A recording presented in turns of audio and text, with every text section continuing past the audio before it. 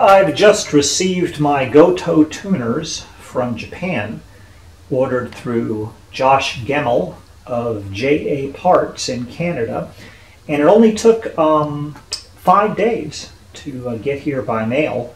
The order process was uh, a bit longer, but the actual postage transit time was uh, five days.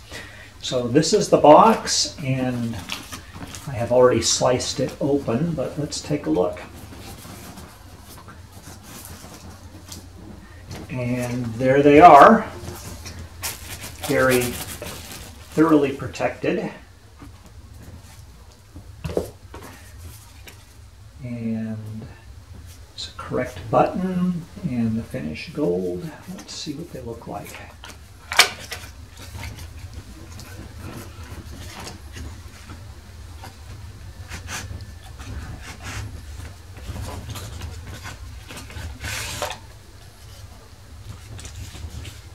Wow, those are really pretty. And uh, there are the screws, that's very important. Six of them there, all gold, which is real nice. And here are the machines.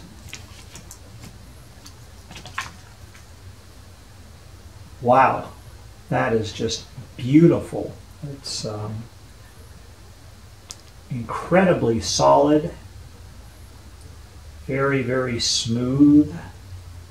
And the finish on it is just absolutely gorgeous.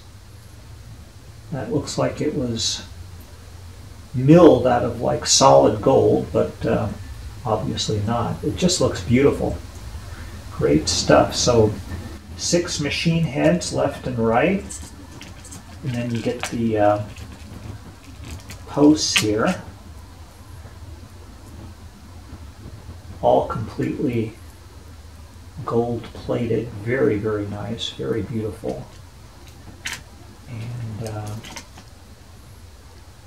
that's it. So that's, um, that's how they arrive. Very, very nice. And they're just absolutely gorgeous. Very, very nice. Can't wait to get these on the guitar.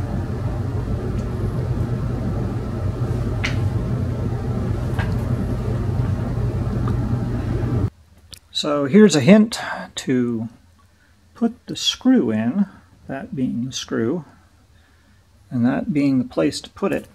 Um, in order to give it something to start with, just poke it with a sharp pointy tool and uh, make a little hole to get it started and then you can screw it right in. The Gotoh tuner just drops right in and uh, to tighten the nut on it I recommend putting, uh, well, I use a pair of pliers, which you really shouldn't, but I don't have the right tool, the nut to tighten that down with.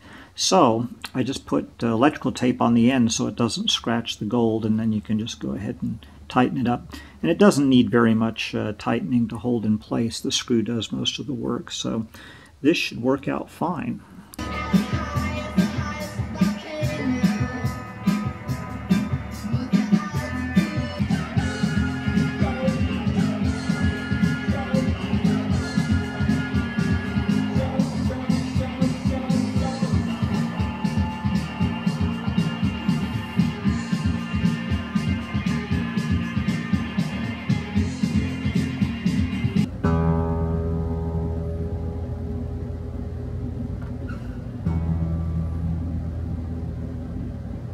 Great tuner, smooth as silk.